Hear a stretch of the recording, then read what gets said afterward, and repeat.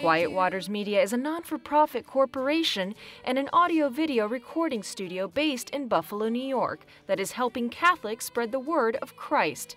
It is an outlet where young people are able to express themselves creatively through visual and audio storytelling. Quiet Waters Media started out making rosary musicals. They travel in a group of maybe 40 people from parish to parish singing the mysteries of the rosary out of this grew a little media apostolate. They had the recording um, studio equipment, they had the video camera equipment, and they decided to start a studio house to teach young people how to use these tools of modern communications. Quiet Waters Media has come up with a unique way to spread the Catholic movement in the northwestern part of the United States and abroad in places like Rome, Italy.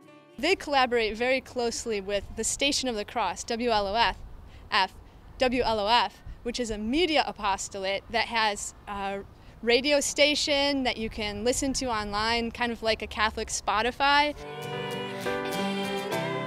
The recording studio has launched several recording projects for young contemporary Christian musicians, a weekly music program, and a live streaming radio station. Since 2005, Rebecca Palowski has been in charge of a summer youth program in Rome, with events that encourages creative workshops for youths between 13 to 18 years of age. In lieu of the upcoming World Youth Day in Poland, the youth program is appropriately titled Środowiskos.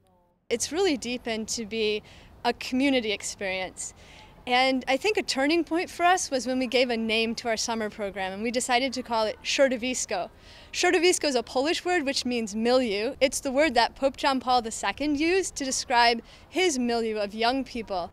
Rebecca wants to ensure that the program remains true to its cause by dedicating the content to unity, prayer of the faith, and community, especially among young people. Quiet Waters Media has an easy to use website and YouTube channel where you can listen to live feeds on any mobile device and online on iCatholic Radio.